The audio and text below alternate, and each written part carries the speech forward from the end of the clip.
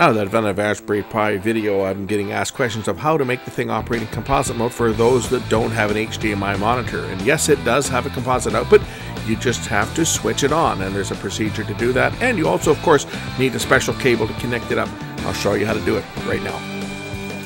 I was asked after my Raspberry Pi 3 demo video where I connected it up to my flat panel TV, how to hook these up to a conventional analog TV either a CRT TV or could even be an old plasma or something that doesn't have an HDMI input or a projection TV that only has composite and component. And you can, there is a composite output on here. It's fed through the multi-connector. And what you need is you need one of these breakout cables.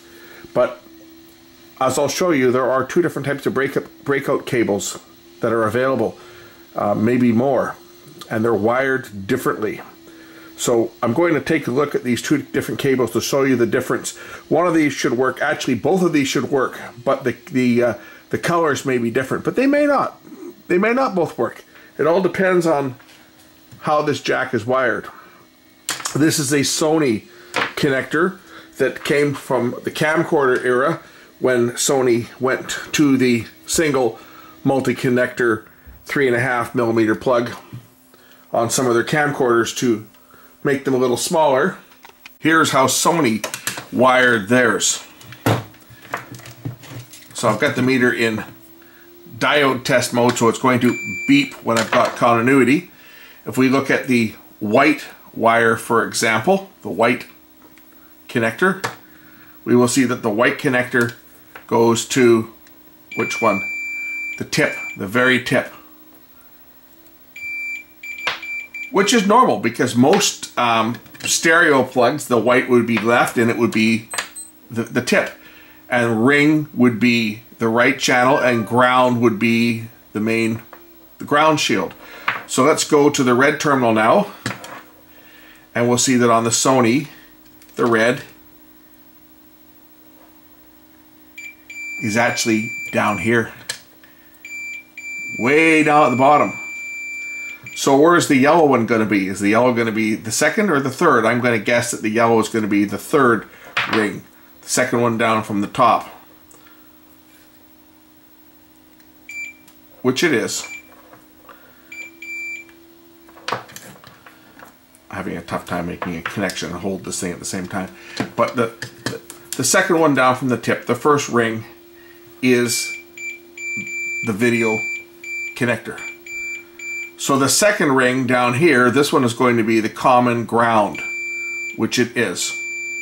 Okay, that's how Sony's is. Sony, it's white, yellow, ground, and red. So here's a little chart I made. Tip, ring one, ring two, and ring three. Here's our Sony.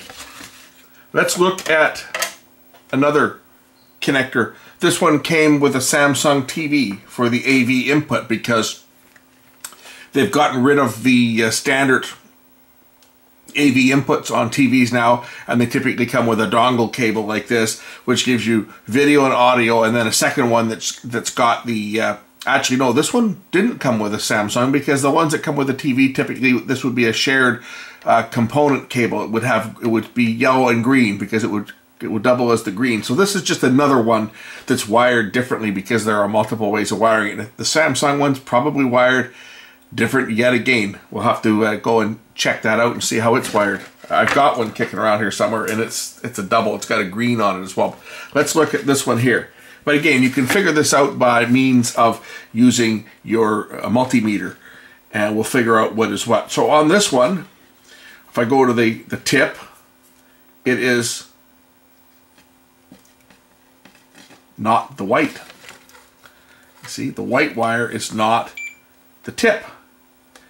Which one is the tip? Is it the yellow wire on this one? Yes, the yellow wire is the tip. So on this other, other, I'll call it other because uh, um, I don't know what brand it is, but the, the uh, tip is yellow And ring number one is, is it white or is it red? ring number one is red or yellow. Did I say yellow? Yellow. Yeah, or white. White. So ring one is white. And ring two is red.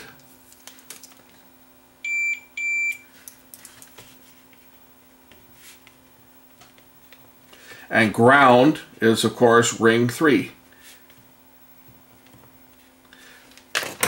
Now, obviously, only one of these is going to work with the Raspberry Pi. And the reason I say that is because if the R3 is ground, that's a common ground for all of them. And of course, on this one, the ring 3 is connected to the red, and the ground is connected to ring number 2. So we have to determine what does the Raspberry Pi use as its connector. I'll just disconnect the power from this so we can determine what way the Raspberry Pi is wired. We can figure it out really easy. If I plug in a dongle cable, ground should be ground no matter what. So if I plug in this one and I measure between ground and the shield, aha, I don't have continuity. So let's plug this one in and measure between ground and, aha, aha. So what this tells me is that the Raspberry Pi follows the standard, and I believe Sony's is the standard. This is this is the more common way of doing it. This one's a two-channel breakout box or breakout cable or an adapter. As we'll see, our shield is common to both of these two, and our white wire goes to the tip, and our ring goes to the red. Now remember I said that R3, ring 3, is the video output for the Pi, which is the one that's closest to the end of the connector, the, the base of the connector. Then ground, and then uh, ring 1 and, and tip are the two audio outputs. So on the Sony cable, the ring 3 corresponds to the red, not the yellow. So I've got the red connector connected to the video input on the TV. I have to trick this unit into going into um, composite mode because by default it's set up for HDMI. So what I do is I'm going to turn on the power. I'm going to wait approximately 15 seconds and then I'm going to hold the shift key on my keyboard and I'm going to give it a few seconds because a menu is going to pop up on the HDMI which we can't see and then I'm going to hit the 4 key to select composite video. Um, the, the 4, well, we'll go through that in a minute, but I'm just waiting for it now. Okay, I'm going to hold down the shift. I'm going to hit 4. I'll do it again with the HDMI monitor connected as well so you can see the sequence that happens because you'll have no video when this initially happens if you don't have an HDMI monitor. So if you have an HDMI monitor, it's easy because you can watch the screen, watch until it says press the shift, but if, if you don't, it's going to wait about 15 seconds. And you hold the shift key and now hit the 4 key and that'll switch it to the other monitor just like this. So here's no HDMI monitor. I'm going to turn on. I'm going to count to 15 and then I'm going to hit the shift key. So one, two,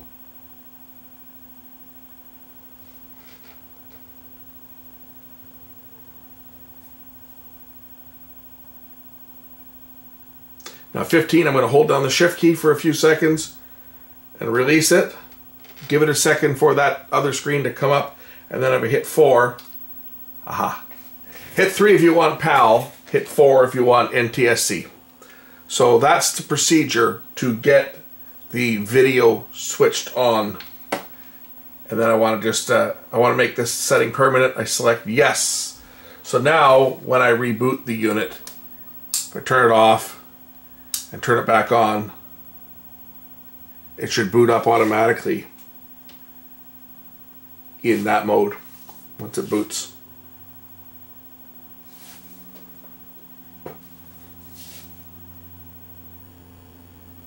There you go. And then if I want to boot Raspbian, I can just boot Raspbian here.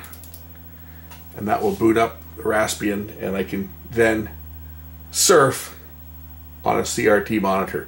And anything I do should work on a CRT monitor once it boots up. And there we have the Raspberry Pi desktop.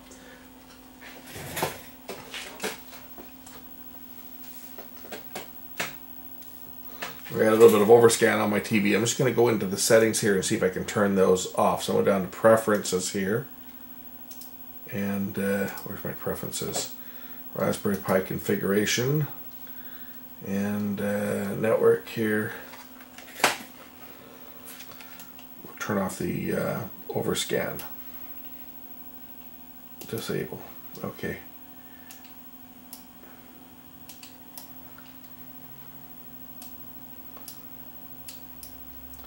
I'll just reboot this um, and we'll go down to off preferences. Shut down. We'll reboot it and uh, hopefully that'll turn off the overscan so that I'll fit more on my screen. See the real beauty of the these Raspberry Pis when they were designed they were designed going back to the first generation they were designed as a charity to provide low cost cheap computers for students that could be given to every student. And not everybody had the money to buy a new TV, so they had to make them compatible with existing equipment that's out there. So if I load up my web browser, for example, on my CRT TV now, running Raspbian, probably not going to look very good, but let's uh, let's go to YouTube.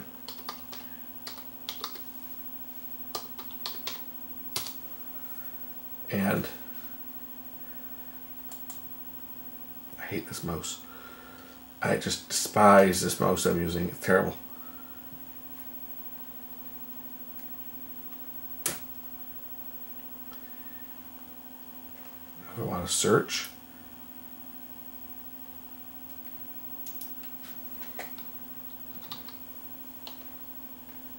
Oh, look, look at that. I'm second from the top. Oh yeah. How to dispute a fake copyright claim on YouTube. That's one I put up today because I got uh, I got a fake claim, and uh, you know these ones here just kind of tick me off when I get these. But here we go. This is the only thing that's plugged in. See, I'm not plugged into any other monitor. Let's uh, let's see how I dispute a fake copyright claim on YouTube. And if I go to full screen here, how do I do this?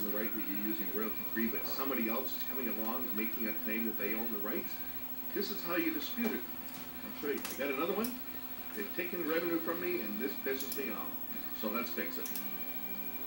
So it's Saturday morning, and I do the same thing I do every Saturday morning when I first turn on my computer. I, so on the on one of these breakout cables, you got to use one that's wired like a Sony, which is the this one here, tip white, and um, the red is to ring three and the uh, yellow goes to ring one. So the ground is this one here. So this is the this is the the wiring for the Raspberry Pi. If you use one of these other adapters like this, it's not going to work. If I plug this other one in that came, I don't know what this came with. It may have come with a, a TV of some type. But if I plug this one in, as you'll see, nothing is going to give me video or sound you get that.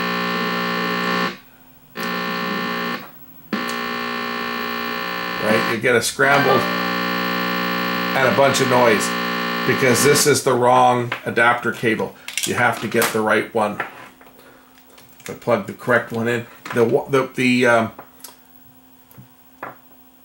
the uh, where's it? It's red, red and white not the yellow one. The yellow one doesn't do anything, right?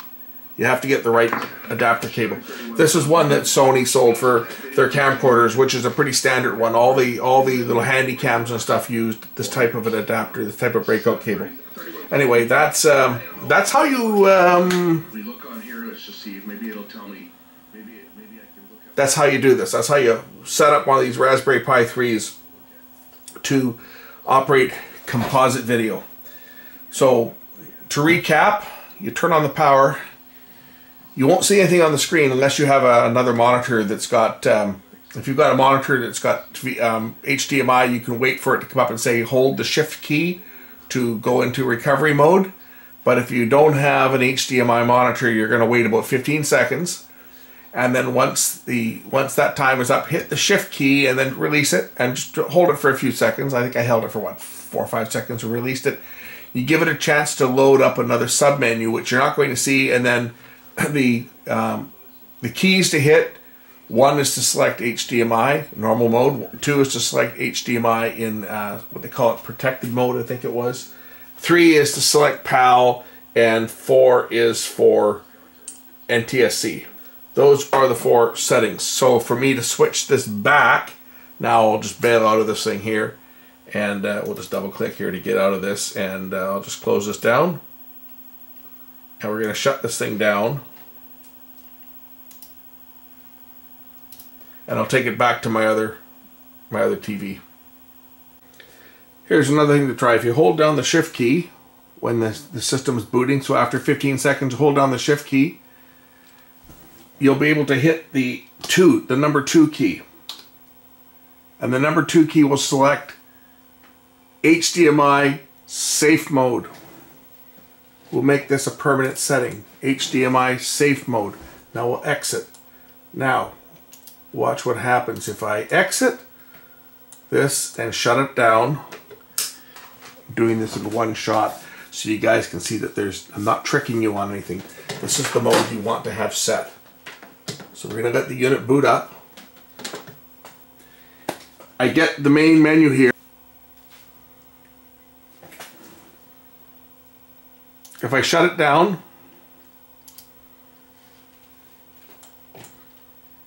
I'm going to unplug my HDMI monitor. I'm going to turn the power on.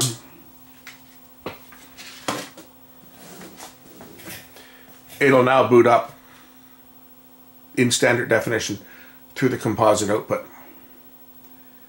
So the resolution now in, in HDMI safe mode, the resolution is determined by whether you're connected to HDMI or not. Just takes a few seconds here.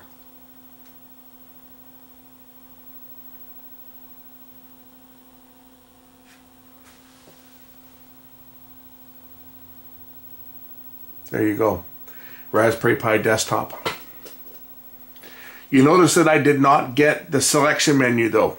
It just went straight into Raspbian because it will go into whatever the last um, operation was. If you were in the um, if you were in the media, what they call it, the Kodi media, it will boot back into the Kodi media. If you are in the Raspbian, uh, it will boot back into Raspbian because it it sends the signal out in HDMI in 640 to that initial screen and then it'll boot up. So if you've got if you've got it set up for a dual boot environment, you'll need to select option 3 if you're on a PAL TV or option 4 if you're on an NTSC TV and then you'll get that boot up menu. Or you can plug it into a uh, HDMI monitor. If I go back and plug it into the HDMI monitor again. There's nothing on the screen for the TV now. You'll see that initial startup screen. You'll get this, and you'll see the startup screen where I can select. So here's where I've got the option of selecting Raspbian or LibreELEC. Now we're back into Raspberry Pi desktop. So that's the options. Option one, always HDMI. Option two, it will select HDMI initially and then go to composite if there's no TV connected. Option 3 is PAL. Option 4 is NTSC. That's how you set these things up, simply. Thanks for watching. We'll catch you again in the next one real soon.